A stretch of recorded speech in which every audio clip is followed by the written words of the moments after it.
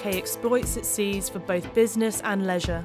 Fish farms are dotted around our shores, whilst our seaside towns and cities are dependent on the fishing and sailing industries. But what happens once these boats leave our shores and embark upon open waters? While the world is talking about plastic straws and plastic bottles, the marine industries are contributing an estimated 1.6 million tonnes of plastic to our oceans every year. I came to the Isle of Mull in the Scottish Hebrides to find out just how much the marine industries affect our surrounding seas and their wildlife. Mull is an island celebrated for its nature and has thousands of species of seabird, ducks and geese, and even the odd otter or two. But the island's inhabitants have noticed a great problem plaguing their shores and its precious habitats. I met with Darren Morley, who lives on the island and volunteers with beach cleanups and the Coast Guard.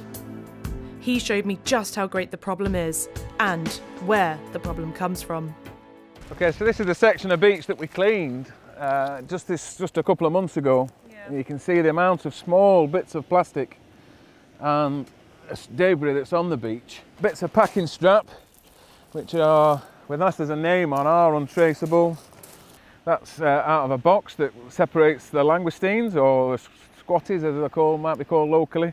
And that is the plastic wrapping that's come right. off a creel pot. That would have been a piece of rope once. Yeah. And now that's turned into a lot of little fibres. That might have landed here as a big piece of rope and is now broken down with the wave action into lots and lots of little fibres and eventually that'll break down even further yeah. until it becomes the microplastics that we all fear. So that's unfortunately what we're up against.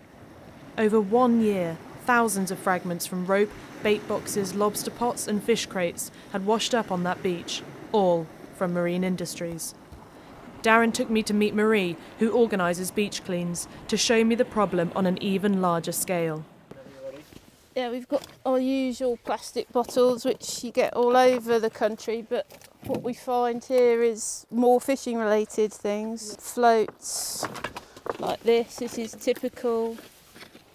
That would be attached to a line of creels maybe. You often find them with used oil in and perhaps a fisher, fishing boat has done an oil change for the engine and they've yeah. thrown that over the side. We don't know, we're speculating, but there's so many of those that get washed off, it makes you suspicious. Full to the brim. If that splits open in the sea, that's a huge slick across yeah. the surface. Yeah. Because it'll spread itself out into a huge area. Yeah. It'll just sit as a very thin film on the top of the water. And anything that comes into contact with it is in big trouble.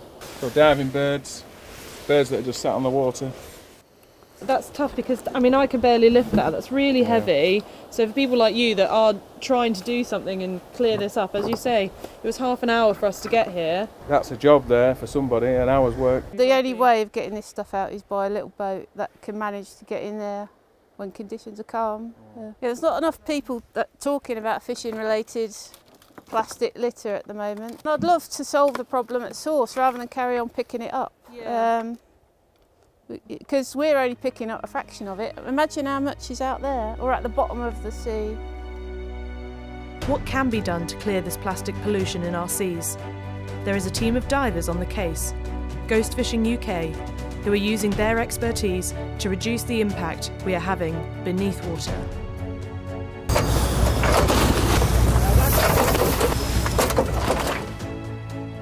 Abandoned, lost or discarded fishing gear is a huge problem in our oceans. The UN estimates that 600,000 tonnes of fishing gear is left in the ocean each year, which is having a devastating impact on marine wildlife and stunting conservation efforts. In order to remove it, the only way is up. Lost fishing gear kills and maims marine life in one of two ways through either ingestion or by continuing to fish, entangling, starving, or asphyxiating its catch. This is a phenomenon called ghost fishing. Once below water, the Ghost Fishing UK divers work calmly yet fervently to remove as much gillnet as possible before their air runs out. The line is covered in tangled spider crabs fighting for their freedom. On the surface, the remaining team members look out for the float bags, which lift the fishing gear waste and crabs to the surface. Got two live ones. It's all hands on deck now for the detangling and data collecting, after which time, these lucky crabs can be freed. Bag upon bag full with plastic lined spider crabs, mollusks, and sea sponges is brought to the surface as the divers continue to work tirelessly below. Once collected, the materials will then be recycled, becoming perhaps socks, carpet tiles, or even art. It's tough work detangling these enormous and leggy spider crabs from such fiddly line, but there is a real sense of achievement in it. Christine Grosart, Ghost Fishing UK secretary and diver, spoke to me about the importance of what they do. Over the last three years that Ghost Fishing UK have been operating, um, we've basically started from scratch in terms of data gathering. Um, nobody else is collating data in the way that we do. Shooting video footage and photographs um, of this stuff actually being caught and being killed in the sea um, it has a much bigger impact on, on public awareness, I think. If people can't see this, they don't care. You can't care about something that you can't see. Programs like, you know, Blue Planet and things like that are very, very visual and really caught the public's imagination. And there's a big drive at the moment about ocean plastics. It's a hot topic right now, um, and there's never been a better time for us to be doing this kind of activity, I think. In 2009, a UN report found that most ghost fishing gear is not intentionally discarded. Does that mean that the industry can wash their hands of the responsibility? I travelled to Orkney, off the north coast of Scotland, to meet with an expert in fishing sustainability. If people want to eat fish, uh, if they want to eat shellfish, they've got to be aware of the process uh, that's involved in getting that uh, to their plates. The big retailers like Marks and Spencer and other big supermarkets really require all of their seafood products to be demonstrably from sustainable sources. The Orkney Sustainable Fisheries can work with fishermen ensure that their sustainable practice is recognised and they're rewarded for that. Fishermen will do their utmost not to lose very valuable gear. And it's, it's eye-watering how much uh, a trawl costs.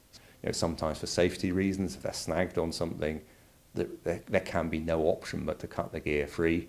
The sea is a dangerous place and it's a wild place. So it's a very different issue to the more deliberate littering of the sea. Most fishermen would like the industry to be seen in a very good light uh, and don't want to be seen as littering the seabed.